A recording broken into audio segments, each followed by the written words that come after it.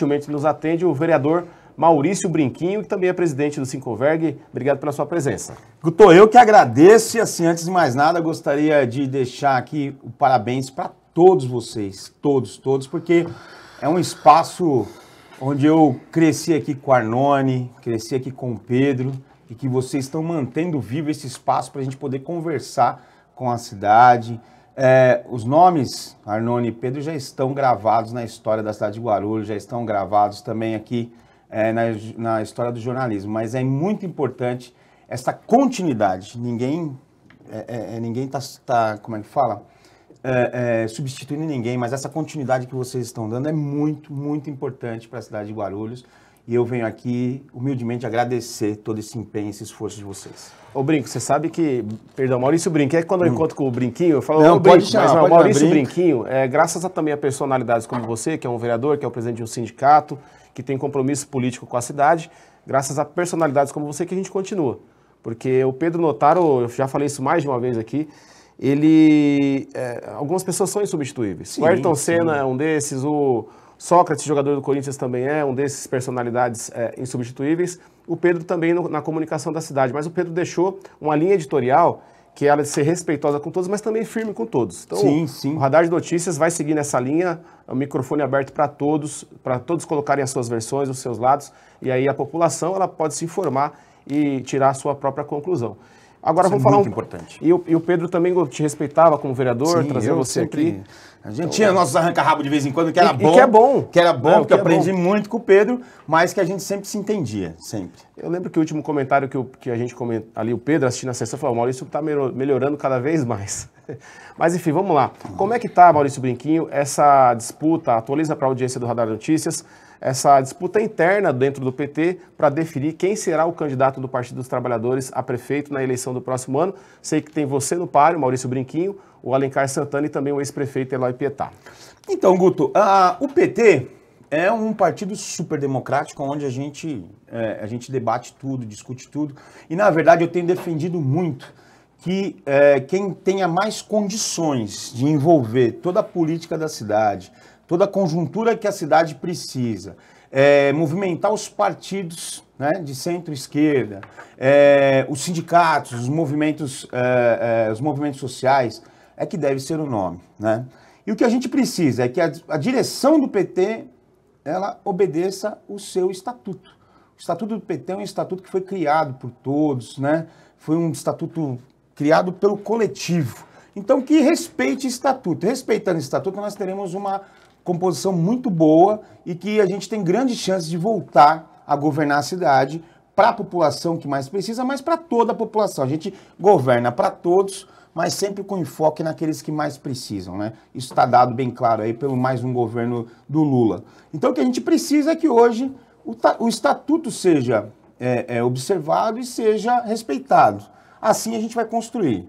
São três nomes que têm condições. Né? Eu tenho a minha experiência como, como uh, administrador de sindicato, é lógico, são níveis diferentes, mas o Lula, ele depois, para ser presidente da República, ele, só, ele foi administrador de um sindicato primeiro e depois ele foi administrador do país, né?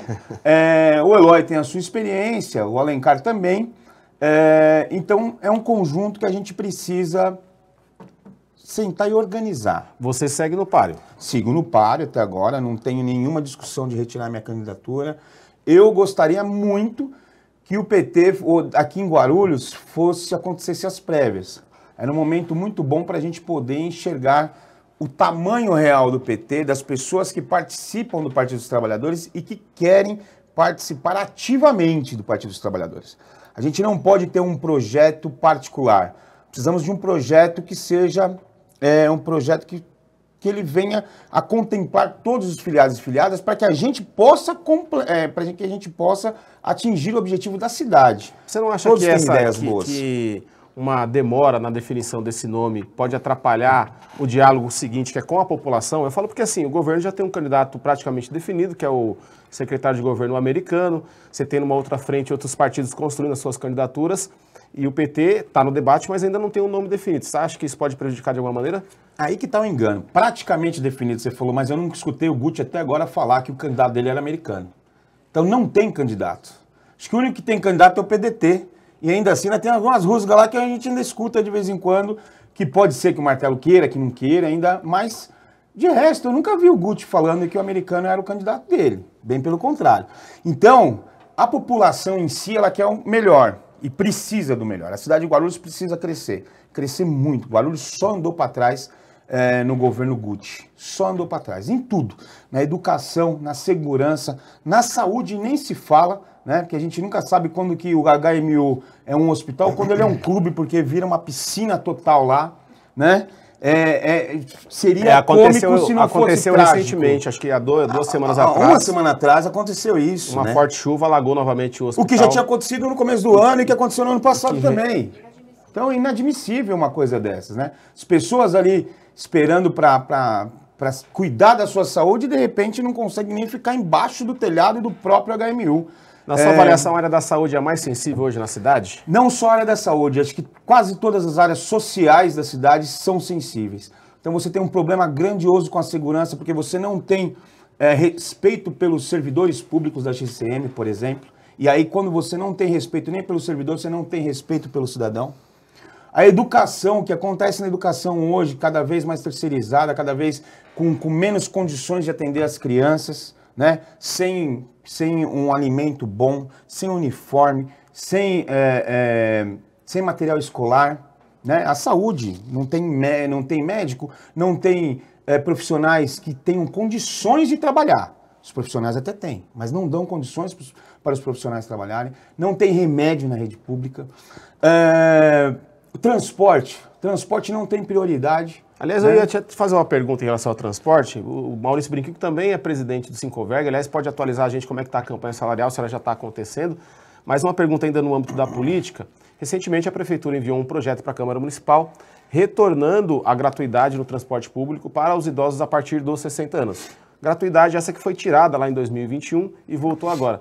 Durante o debate, você pediu vistas do processo para poder do projeto, perdão, para poder avaliar. E aí teve toda uma polêmica de que você seria contra e tal. Eu lembro que eu tenho, eu, eu participo de alguns grupos, e até de amigos. Aí mandaram o link lá de uma foto do jornal, não sei o quê, e tem um pessoal que é antipetista. Faz o L, faz o L. Começaram a detonar o Maurício Brinquinho, que seria contra os idosos. Mas explique isso pra gente aí. Não, na verdade, é, eu nunca fui contra a gratuidade. O problema é que eu provo para qualquer um e é por isso que você fez o L, e pode fazer o L bastante, porque a gente consegue provar, para qualquer um que em Guarulhos não tem gratuidade. Não existe gratuidade. Hoje, 54,5% do transporte público é gratuito. Só que quem paga? Os outros 45%. Não tem, é, é, não tem subsídio suficiente da, da, da, da prefeitura para bancar essa gratuidade. São questões eleitoreiras, tanto é que ele retirou isso né? Em 2021. 21. Em 21 ele retirou isso e na época eu tive que brigar porque ele queria terceirizar os motoristas também. Eu fiz uma emenda ao projeto, tive que votar favorável ao projeto porque a emenda do projeto garantia que os motoristas continuassem com a sua CLT assinada, né? Porque até isso o prefeito queria. Já tinha acabado com os cobradores e aí queria acabar com os motoristas também. Então eu fui na defesa dos motoristas naquele momento. Mas não existe gratuidade em Guarulhos. Quem, por isso que nós temos uma das tarifas mais caras do país. E eu desafiei o prefeito, continuo desafiando e eu tenho projeto para isso, por tarifa zero. Se eu fosse prefeito dessa cidade, em um ano eu baixaria essa, essa tarifa pelo menos pela metade do preço. E no final do meu primeiro mandato, a tarifa seria zero na cidade de Olha Guarulhos. aí, Maurício, você pode ser eleito prefeito e vai ser cobrado? Isso, sem problema nenhum. É um caso projeto que já tem há né? bastante caso tempo. Seja candidato. Caso é. seja candidato. Por hora eu sou pré-candidato. Então, é, mas é, um, é uma luta que eu terei, sendo candidato a prefeito ou não sendo, sendo prefeito ou não sendo, eu vou continuar essa luta. Por quê? Porque existe condições, Guto, de ter. Quem hoje se beneficia com transporte público? Aí você vai falar, são os trabalhadores? São... Não. Quem se beneficia com o transporte público são os grandes centros comerciais. Quem vai comprar nos centros, grandes centros comerciais? Muita gente que usa ônibus. Se se consegue chegar lá com ônibus, que fica mais fácil, a pessoa também vai comprar. Da mesma forma, quem se beneficia? Os bancos. As pessoas vão pagar suas contas nos bancos, nas casas lotéricas, vão de ônibus. Né? É, as empresas aqui em Guarulhos também se beneficiam quando a, o trabalhador, o trabalhador vai arrumar emprego numa empresa metalúrgica, Né? Aproveitar e já mandar aqui um grande abraço para o Cabeça, meu amigo, presidente do Sindicato dos Metalúrgicos aqui de Guarulhos. Ou na Construção Civil, que também mandar um grande abraço aqui para o Marcelo, que é o presidente do Sindicato da, dos Trabalhadores da Construção Civil. Vão trabalhar, eles já perguntam, mas quantas conduções você vai usar? Tem isso mesmo. Se é duas, três, não, eu só pago uma, ou então se é mais longe, ó, não vou te contratar porque você mora longe. Então a gente precisa de um fundo municipal de transporte, onde toda a sociedade que se beneficia com o transporte público dê a sua contribuição. Essa contribuição não é só para aquela pessoa que é o passageiro direto, são para os outros que se beneficiam com o transporte público. Inclusive as próprias empresas de ônibus. Porque as empresas de ônibus teriam, terão também, dentro desse projeto, que se adaptar com ônibus é, confortável, ecologicamente correto, com internet, com ar-condicionado, né, com rapidez e segurança. E aí, com rapidez e segurança, em Guarulhos a gente não tem um quilômetro de corredor municipal na cidade. Esses corredores que tem na cidade Esses não corredores são municipais? intermunicipais são intermunicipais e levam você de lugar nenhum a nenhum lugar, né, em geral. É quase igual o trem aqui de Guarulhos que aconteceu. A gente não precisa disso. De imediatamente a gente precisa de faixas exclusivas. E Guto, quando eu falo faixa exclusiva, não é a faixa preferencial. Você vai no mercado, você tem um, um, um caixa preferencial. Então, se tiver alguém que tenha preferência, ela pode passar na sua frente. Um Senão, idoso, você uma pode ser- gestante. Isso. Agora, quando o caixa é, preferen... é, é exclusivo, se não tiver ninguém ali, o caixa fica vazio. Então, é isso que a gente precisa. A gente precisa de faixas exclusivas. Aonde, Andy? O ônibus e é, os carros de emergência, lógico. Mesmo né? que seja num determinado horário, né? Não precisa Pelo for o dia menos todo, um- mas você faz isso. ali das 7 às 10 da manhã, depois das 16 às 19. 18 e 38, Maurício. Brinquinho, muita gente participando aqui. Só registrar o Paulo Silva, o Marcos Antônio, o Estevão Lima, o Marcos Antônio, já falei, José Leal, Raimundo Felipe, Cláudio Santos. A Mariana Nunes, ela perguntou sobre a questão da gratuidade. O Maurício Brinquinho já explicou. Agora tem um comentário ali do Dr. José Mário, se o Rafa puder voltar. E também tem um outro, um outro telespectador que fala que eh, respeita as prévias, mas ele é a favor de uma composição baseada também nas pesquisas, para que o partido possa se organizar e ter mais competitividade. O Rafa está procurando ali os comentários. 18 e 38, Maurício Brinquinho. Olha lá, ó. Doutor José Mário. Boa noite, Guto. Boa noite, Brinquinho. Boa noite, doutor. Está, ó- é, está óbvio que o americano é o candidato. Creio que será o próximo prefeito, a despeito do meu respeito a todos os pré-candidatos. Essa é a opinião do nosso amigo Zé Mário. Obrigado pela audiência. Respeito sua, sua, sua, respeito sua, é, sua opinião, doutor, mas tenho certeza que dessa vez o senhor está enganado. Olha lá, o Raimundo Felipe. O pré-candidato Maurício Brinquinho é o mais preparado para administrar Guarulhos. Esse gosta de você, ó. Esse, esse é um Raimundo, amigaço. Raimundo Felipe. Mais comentários aí, produção? Falou um, uma rapaz aí, falou que é, militante de- defende prévias, mas foi o. Como é Ah. que tá escrito lá? Boa noite a todos do Radar. Eu, eu, como militante do PT, defendo prévias, mas se for do consenso, que seja avaliado melhor nas pesquisas contratadas. Paulo Silva, essa é a opinião dele. Então, eu acho que tem que ser visto, como eu falei no começo, Paulo, tem que ser visto tudo. Eu acho que não é só as pesquisas, porque a pesquisa ela é momentânea agora. Você pegar uma pesquisa qualitativa é uma coisa, agora uma pesquisa só é, é, tem a qualitativa e a. Ajuda aí, Toninho. De qualidade e de. Enfim, é de Enfim, a pontuação, é, né? De pontuação. O que, que acontece? Você pode mudar isso ainda, está muito longe da- da- da- das eleições. Então você pode mudar isso a toda semana. O que, que precisa? É, pesquisa de intenção de voto Isso, mesmo. de intenção de voto, né? É, O que, que acontece? O... o que a gente precisa hoje é de ter uma pessoa, independente se não for nenhum dos três que estão pré-colocados, que vem um quarto, uma quinta, não tem problema, mas que reúne melhores condições de conversar com a sociedade.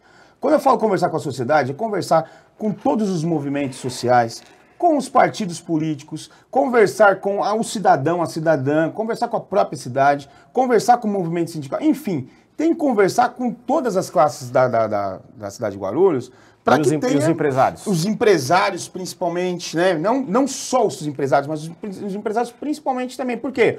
Porque, por exemplo, essa lei que eu, que eu proponho da gratuidade da tarifa zero, a gente vai ter que conversar com todos, inclusive com os empresários. Cada um vai ter a sua parte é, é, de responsabilidade. Então, quem agregar tudo isso é que deve ser o candidato. Olha lá, o Ronaldo disse, ó, o que ganha na realidade é uma boa chapa com harmonia. Falar empresário, volta o comentário. Isso, do Marcelo Lousada. Alô, Marcelo Lousada, eu, eu te retornei o telefonema, você não ligou de volta, enfim, podemos nos falar aqui depois do Radar de Notícias, tá? Brinquinho. Marcelo Lousada, Brinquinho, o PT irá ter seu vice também do PT? Então, é uma das conversas que a gente tem que ser feita, viu, Marcelo? É, eu não acho que. É, eu acho que se for para agregar, se for para agregar, a gente deve conversar com todos os partidos, o partido que mais agregar e conseguir fechar junto com o. o ajudar no planejamento é, é, político da cidade, esse tem que estar tá dentro.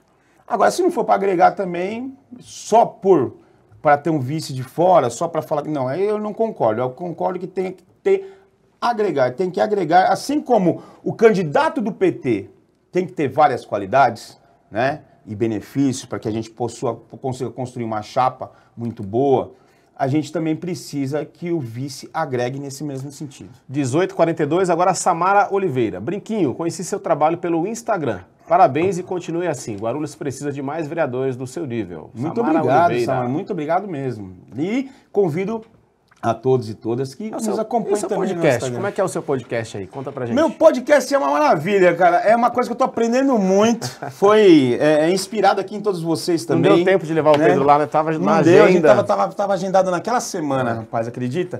E é, foi bem na semana que tava agendado, né? Então, é, mas está sendo uma, uma experiência maravilhosa, porque é um momento que, para mim, é um momento de aprendizado, é um momento também de lazer. A gente começa a conhecer muita coisa de que a gente às vezes acha que conhece e não conhece, que as pessoas vêm discutindo mais a fundo. Então, é, é um momento muito bom que eu tenho aprendido bastante, tenho conversado com muito, muita gente de Guarulhos mesmo. Tá certo. Vereador, 1843, para a gente concluir, como é que está o Sincoverg, a campanha salarial da categoria? Quantos são os trabalhadores na base hoje do Sincoverg? Hoje nós estamos, só dessa categoria que nós estamos discutindo hoje, nós estamos em 7 mil. Né? Nós somos um total hoje de 10, 11 mil quase. Pega né? Guarulhos e... As, e... Guarulhos e Arujá. Certo. Guarulhos e Arujá. E a gente representa não só transporte urbano e metropolitano, como transporte, o, a coleta de lixo, alguns transportes de carga, enfim, carga própria, né? É, o setor de gás, de é, concreto, né? É, a gente está tá finalizando a campanha salarial agora do setor urbano e metropolitano. As próximas semanas agora a gente deve ter alguma proposta das empresas e chamando o pessoal para a Assembleia. É, nos últimos anos, né, comigo à frente do sindicato, a gente tem feito assembleias muito grandes, sempre com a maior participação em massa da categoria e a gente tem acertado. Espero que esse ano seja dessa forma também. O índice não está muito alto, então a gente precisa garantir um aumento real e garantir os benefícios, que é muito importante, né? Tá, é um momento favorável, na minha opinião, para os trabalhadores no sentido geral da coisa. Você no tem um presidente geral. da República que é mais é, próximo aos, aos, sindicalistas, a economia dá sinais de melhoria, em que pese essa guerra agora lá entre o Hamas e Israel impactar o mundo todo, esse mundo globalizado, mas desejo sorte também para os trabalhadores. 1844, muito obrigado pela sua presença. Já fica o convite para uma próxima participação. Sempre bom bater um papo aqui com o vereador Maurício Brinquinho. Guto, eu que agradeço, agradeço a todos que estão aqui presentes, todos que fazem esse programa e todos que estão nos assistindo. Um forte abraço. Rápido intervalo, na sequência, Eder Shell, ele que é artista plástico e ex-secretário de comunicação na cidade de Guarulhos. Um grande amigo.